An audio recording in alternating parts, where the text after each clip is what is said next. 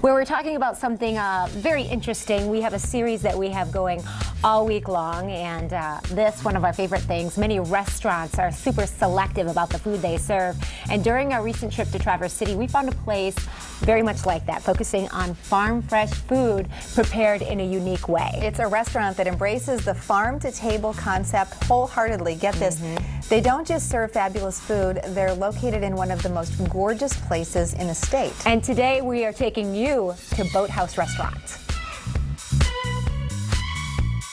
We all love wonderful food and drinks. How about enjoying your meal along the beautiful West Grand Traverse Bay? That's pretty special, but it's not the only unique thing about Boathouse Restaurant. We're gonna delve more into the food that's served here. Let's learn a little bit more. Doug's the owner of Boathouse Restaurant. So tell us about the farm to table movement that you embrace here.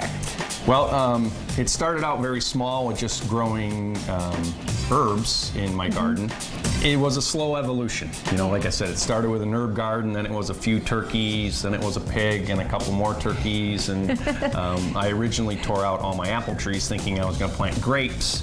And um, there was plenty of grapes up here for everybody. So I'm like. I'm going to go in the farm to table approach and, and do more stuff that I can use here um, and incorporate in, in, my dishes. So things served here are very fresh. Take a look at some of the food before us. Doug, why don't you tell us This uh, is here? a pumpkin bisque. So uh, pumpkins are in full bloom right now at, mm -hmm. at the mm-hmm. farm. Um, and this excellent dish, it could almost be dessert. It's got that little bit I of bet. sweet, yeah, you know, some cream in there and cinnamon, and it tastes wonderful. And then um, nothing fancy, but always great this time of year, caprese salad mm -hmm. with some mm-hmm. heirloom tomatoes and fresh mozzarella and, and a little basil. You've been open for close to 10 years now, and what do you think has been the reason for your success? Because people still talk about Boathouse, they love coming here, they love a lot of things about this? Yeah, um, a variety of reasons. You know, the view and the drive up the peninsula and the water, and there's a lot to do out here, and it's so beautiful with wineries. Um, the food movement in general in Traverse City. Mm -hmm. um, so many other restaurants, uh, Trattoria Stella, Amical, Cook's House have embraced the food to table or farm to table program, and, and they have done a lot with it that has helped build the food scene. And then, you know, my own program that I have here, which I have the View and the Farm to Table program. So I think a combination of all those things has helped build the success over the years. Well, you've talked so much about the cool farm. May we actually go see it? We can go over viewers? there. Yes, let's go check it out. We're only a half mile away, and it's interesting to see where it all comes from. Yeah, certainly the dishes we had at the restaurant, the pumpkin bisque and the heirloom tomato salad, and everything's in full bloom right now, so it's easy to uh, try to incorporate some of those things into what we're doing at the restaurant. And you have so many different types of tomatoes, and you've got your pumpkin patch here. And of course, we're in this beautiful orchard.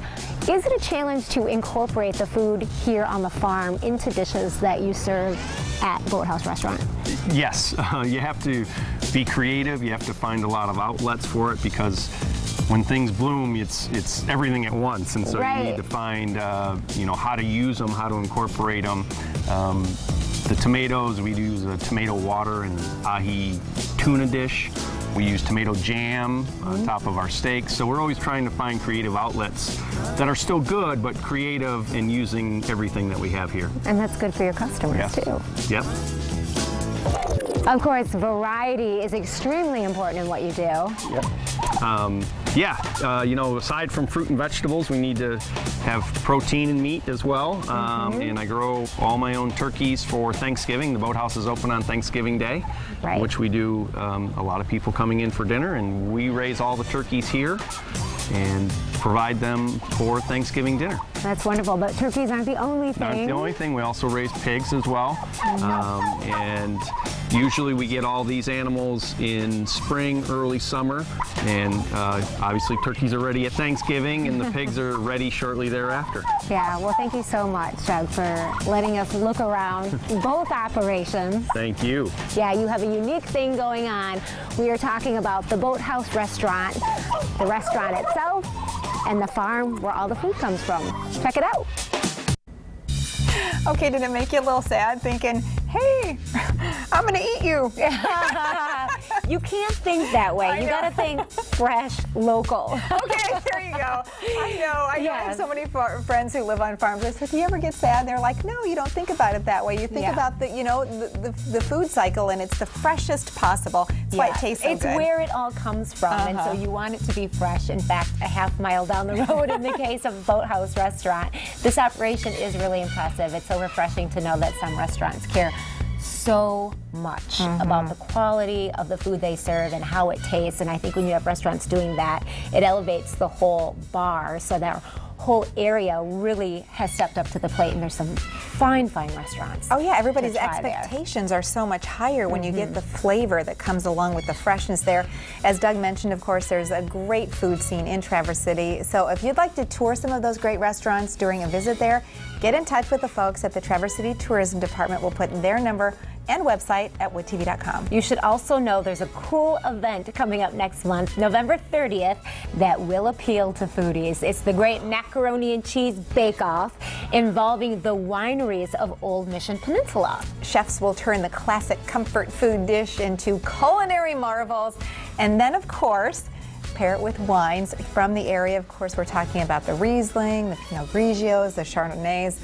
Wow. Rachel, what, what was that date again? the 30th. The 30th. That sounds The folks at amazing. Traverse City Wow. Tourism say it sells out fast. I'm And so sure. please, if you want to do this, call right away. Tomorrow on 8 West, we're showing you more of Old Mission Peninsula in a story that focuses on antiquing. We found a wonderful old antiques barn there full of treasures.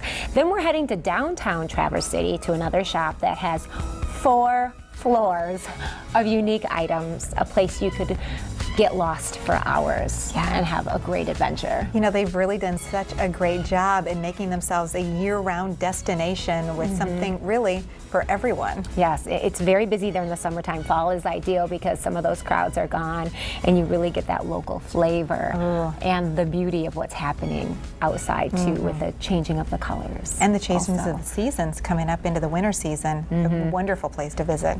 Definitely. So make sure you tune in tomorrow. We will be right back. Don't go away.